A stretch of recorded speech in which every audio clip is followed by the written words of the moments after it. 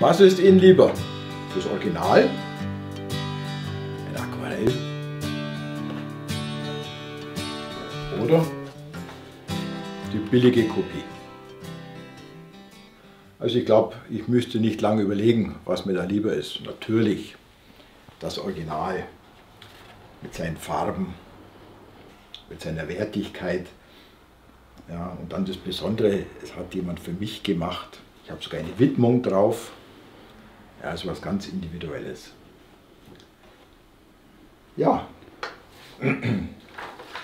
Original oder die Kopie. Ich glaube, das ist ein schönes Gleichnis für uns Menschen. Wer sind wir denn? Wer bin ich? Wer ist mein Gegenüber? Wer sind wir? Die Bibel gibt eine tolle Antwort. Eine Antwort, die aufbaut. Eine Antwort, die den Menschen groß macht und auch den, den neben mir groß macht. Da heißt es, wir sind Bilder Gottes.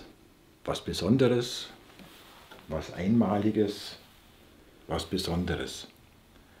Ja, und jeder von uns hat eine Widmung drauf bekommen von Gott, wo es heißt, du bist kostbar, du bist wertvoll, du bist was Besonderes.